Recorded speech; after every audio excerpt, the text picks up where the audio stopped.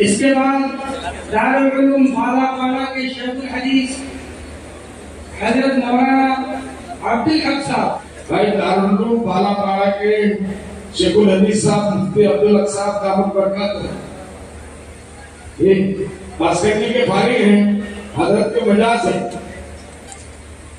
ये वो शख्सियत है जो हज़रत मौलाना उस्तानी साहब को पहली मरतबा आसान और मुझे जो मालूम हुआ तो मैंने एयरपोर्ट पे अपने लोगों को भेजा हजाई से उसके बाद हज़रत से वादा लिया गया और हमारा वक्त मरकज मानिक था। वहाँ गया उसके बाद ये सिलसिला शुरू हुआ। इसलिए अल्लाह ताला मुफ्ती साहब को भरपूर जजाय दे आज भी मैं समझता हूँ, हर साल एक बार या दो बार मुफ्ती साहब अकल कुआ जाके जो अपने अकल की कमी है उसको पूरा कर। पूछो नहीं। ना पूछो ना।